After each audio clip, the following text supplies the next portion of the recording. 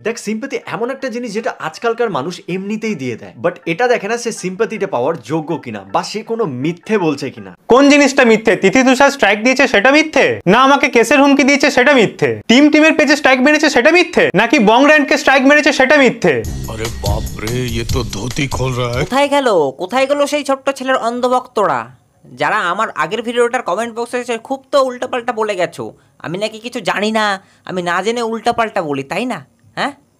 আর ছোট্ট ছেলে সেই ভিডিওটা দেখে তো তোমরা আমাকে এসে বলছিলা যে, আয়রনিক অংশ সব বানিয়ে বানিয়ে মিথ্যা কথা বলেছে কন্ট্রোভার্সির জন্য বলেছে। আয়রনিক অংশ ফেল করেছে, আয়রনিক অংশুর বয়স তিরিশ থেকে পঁয়ত্রিশ বছর বয়স, তাই না? আজকে সব রিভিল হবে, সব রিভিল হবে, আয়রনিক অংশ নিজেই রিভিল করবে। তো তোমরা কন্টিনিউ দেখো, আর ছোট্ট ছেলের অন্ধভক্তটা তোমরা না জেনে বলো না। তোমরা ছোট্ট ছেলে যে কত বড় দোগলাবা সেটা তোমরা জানো না। তো এই ভিডিওটা দেখো, তাহলে বুঝতে পারবা যে তোমাদের ছোট্ট ছেলে কতটা দোগলাবাজ।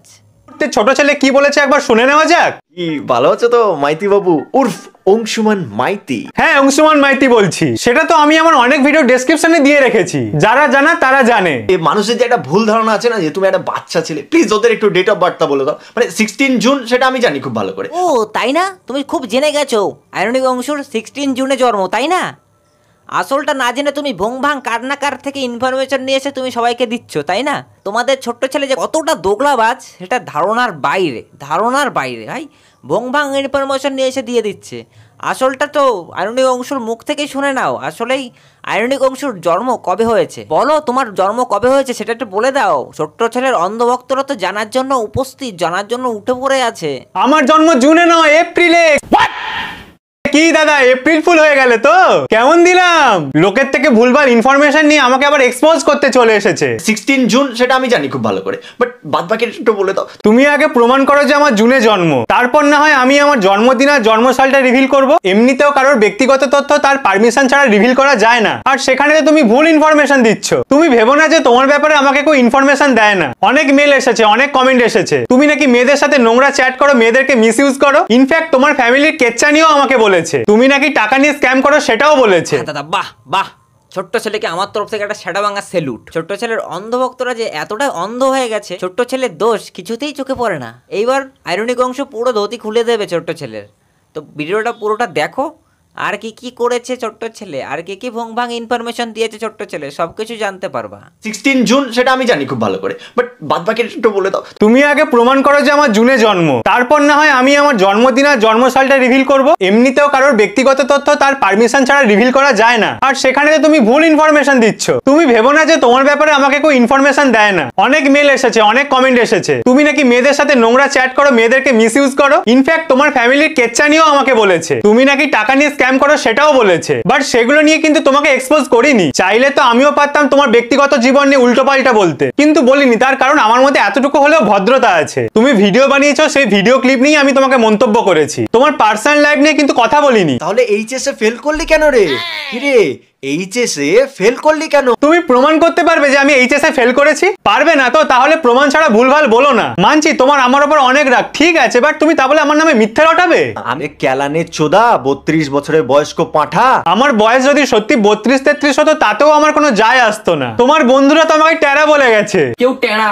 এইসব কথাতে আমার কোনো যায় আসেনি আর তোমারও এইসব কথাতে আমার কোনো যায় আসে না। আমি ক্যালানে চোদা বত্রিশ বছরের বয়স্ক পাঁঠা। কারণ যে যেটা নয় তার সেটা গায়ে লাগে না। বলেছি দাদা। আবার দাদা বড় আবার দাদা কত ভাই কত বাচ্চা সাজবি তুই আর? পশ্চিমবঙ্গে দাদা বা দিদি বলা মানে তাকে বুড়ো প্রমাণ করা নয়। কাউকে সম্মান জানানোর জন্য তাকে আমরা দাদা বা দিদি বলি। মমতা ব্যানার্জি তো আমাদের ঠাকুমার বয়সী কিন্তু তাকে আমরা দিদি বলি। বাসে ট্রেনে উঠলে আমরা কারোর বয়স জিজ্ঞাসা করে তাকে দাদা বা দিদি বলি না। যখন বাসের কন্ট্রাক্টর আমাদের কাছে ভাড়া চেয়ে বলে ও দাদা ভাড়াটা দিন। তখন নিশ্চয়ই আমাদের বয়স জিজ্ঞাসা করে তারপর দাদা বা ভাই বলে না। আশা করি ব্যাপারটা তোমাকে বোঝাতে পেরেছি। আর দাদা বড় আবার দাদা কত ভাই। তুমি ইউটিউবে অনেক আগে থেকে আছো। সেই জায়গা থেকেই আমি তোমাকে দাদা বলেছি। বাট তুমি সেটা নিয়েও নোংরামি শুরু করে দিয়েছ। শোন না তোর যদি ক্ষমতা থাকে তাহলে আমাকে ভুল প্রমাণ করে দেখা যে তুই এইচএস এ ফেল করিসনি। তুমি আমার নামে একটা একটা করে ভুল ইনফরমেশন দেবে। আর সেটা ভুল প্রমাণ করার জন্য আমাকে ব্যক্তিগত ইনফরমেশন দিতে হবে। এরপর তুমি যদি বলে বেড়া অংশুর মেন পয়েন্টটা ছেলেদের নয় মেয়েদের তখন কি আমাকে প্যান্ট খুলে প্রমাণ করতে হবে যে আমি পিওর ছেলে?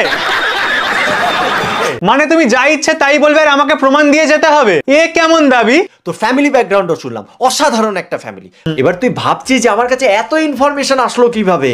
হতেও তো পারে তোর কোনো টিচার আমার ফ্যান ও তোমাকে তাহলে আমার মাস্টার মাসে ইনফরমেশনটা দিয়েছে? তোমার কথা অনুযায়ী কারোর বয়স যদি বত্রিশ তেত্রিশ হয় তাহলে সে এইচএস দেবে আজ থেকে পনেরো বছর আগে। আর তোমার কথা অনুযায়ী এইচএস এ ফেল করলি কেন?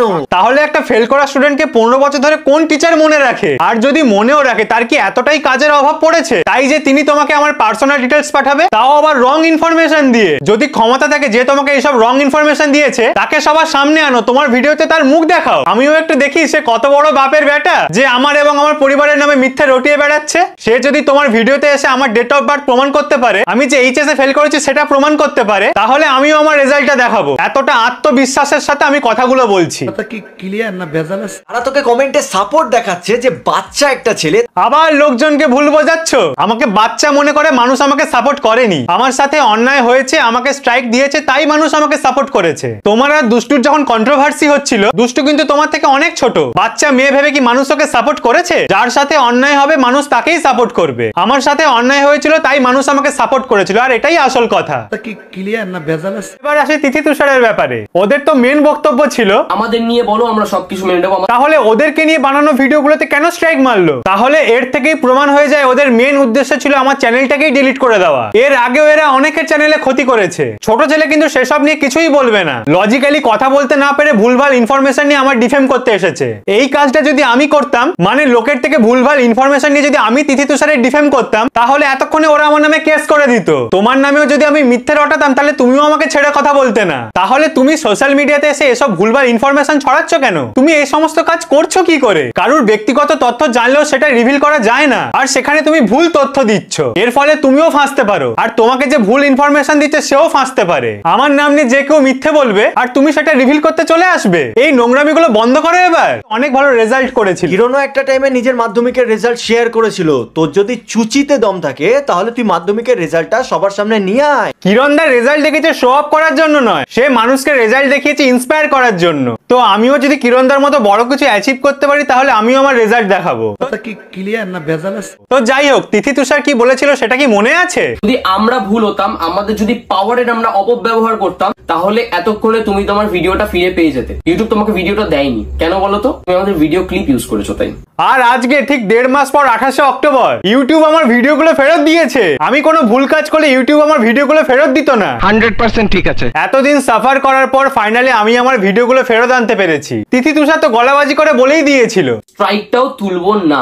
নে তোদেরকে স্ট্রাইক তুলতেও হয়নি। ইউটিউব নিজেই ভিডিওগুলো ফেরত দিয়ে দিয়েছে। একটা সাত মাস আগে বানানো চ্যানেল দু লক্ষে পৌঁছে গেল। দু লাখটা তোমার চোখে পড়ছে বাট কন্ট্রোভার্সির আগে আমার যে এক লাখের উপর সাবস্ক্রাইবার্স ছিল সেটা তোমার চোখে পড়েনি? আমি কখনোই ভাবিনি যে ছ সাত মাসের মধ্যে আমার এক লাখের উপর সাবস্ক্রাইবার্স হয়ে যাবে। আর এক লাখের উপর সাবস্ক্রাইবার্স হওয়ার পর থেকেই যত ঝামেলা শুরু হয়েছে। চ্যানেলে স্ট্রাইক আসলো আর সেটা নিয়ে দেড় মাস ধরে কন্ট্রোভার্সি চলছে। হ্যাঁ কন্ট্রোভার্সির পর আমার অনেক অনেক সাবস্ক্রাইবার্স বেড়েছে। বাট তার আগে যে আমার এক লাখের উপর সাবস্ক্রাইবার্স ছিল, সেটা নিয়ে কেউ কথা বলবে না। এখন আমার দু লাখ সাবস্ক্রাইবার্স হয়ে গেছে আর সেটাই চোখে লাগছে।